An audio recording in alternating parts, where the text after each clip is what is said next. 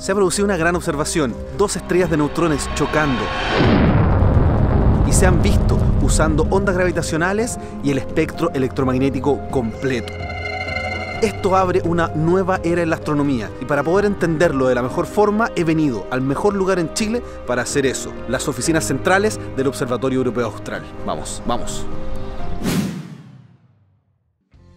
Wow, eso nunca hemos visto un objeto como si realmente es algo distinto, no es algo normal. Súper emocionante, es física nueva, ciencia nueva. Me parece algo impresionante y no puedo creer que estemos viviendo esto. Este tipo de eventos básicamente te pasan una vez en la vida. Lo encuentro fascinante, una época extraordinaria. Y la verdad es que súper expectante de lo que pueda venir ahora.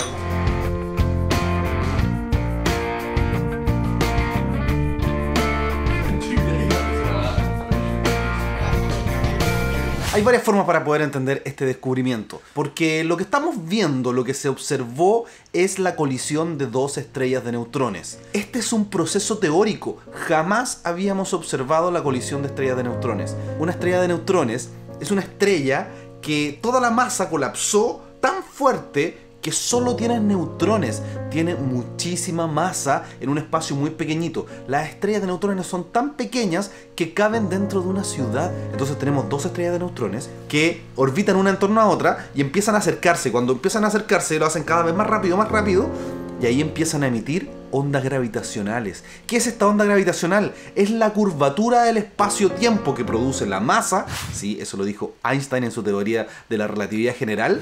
Yo curvo el espacio-tiempo alrededor mío. Mientras más masa tenga, más lo curvo. Y si yo me muevo, este movimiento se va a propagar. En el espacio-tiempo, esto que está aquí entre nosotros. Es como que yo tome un flotador en el agua y lo empieza a mover y eso genera ondas gravitacionales. Esas ondas gravitacionales fueron captadas por LIGO. El problema es que la forma de detección que nosotros tenemos de las ondas gravitacionales no nos permite saber exactamente el lugar del cual vino. No lo sabemos, no tenemos idea.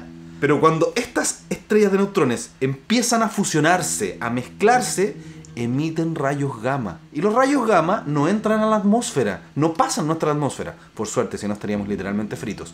Entonces tenemos un telescopio espacial que se llama Fermi que detecta rayos gamma. Y al mismo tiempo que LIGO detectó las ondas gravitacionales, Fermi estaba detectando los rayos gamma. Y a eso tenemos que sumarle el detector de Virgo en Italia, que no detectó nada.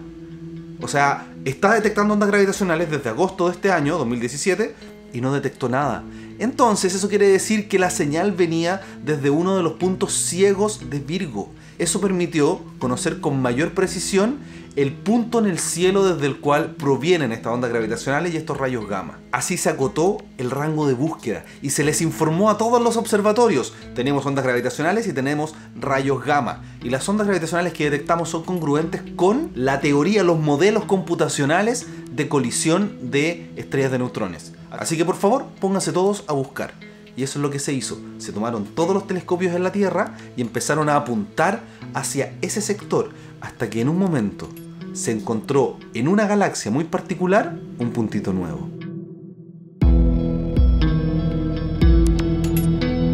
Diez horas después de la detección de las ondas gravitacionales y los uh, rayos gamma, detectaron la parte óptica y el primer lugar donde detectaron fueron las campanas con el telescopio SWOPE. Uh, yo, yo, estaba en Cerro Paranal cuando las observaciones comenzaron de ese objeto que hemos detectado. Fue una cosa como pocas cosas en la astronomía, o por lo menos acá en la ESO, que no fue planeada, sino que fue una alerta mundial donde había que reaccionar al minuto. Después, cuando confirmaron realmente ese objeto es raro, tiene que ser que es lo mismo objeto que estamos detectando en la óptica, que está detectado en las ondas gravitacionales. Entonces tenemos que seguirlo más y pasó dos semanas observándolo con todos los telescopios en el mundo. Y todas las observaciones nos indican que son congruentes con una fusión de estrellas de neutrones con un proceso que se llama kilonova.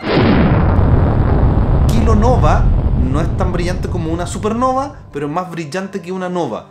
Y esta kilonova es primera vez que se observa y se logró hacer gracias a que tuvimos la alerta desde las ondas gravitacionales y desde los rayos gamma. Este fenómeno lo pudimos observar por primera vez en la historia de la astronomía con múltiples mensajeros. Y esto es increíble. Exactamente, eso abre una, una nueva era. Estamos hablando de astronomía multimensaje.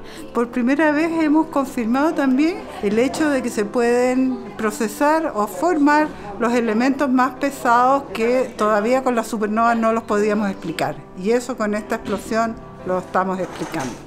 Y lo que más me entusiasma, y es un tema que no manejo tanto, así que no quiero profundizar mucho aquí, es que gracias a esta observación se han descartado teorías cosmológicas que ya no tienen asidero.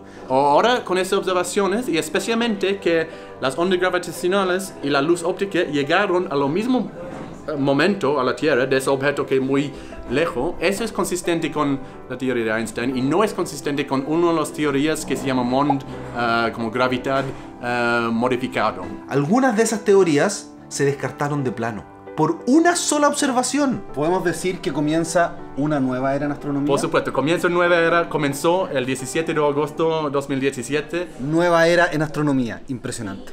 Así que muchas gracias por ver este video. Recuerda ir a todas mis redes sociales. Estoy haciendo muchas stories. Así que anda a Instagram, sígueme, soy Astroblog y mira las stories. También en Twitter, eh, Facebook no estoy tan activo. Espero que te haya gustado este video. Nos vemos en el siguiente.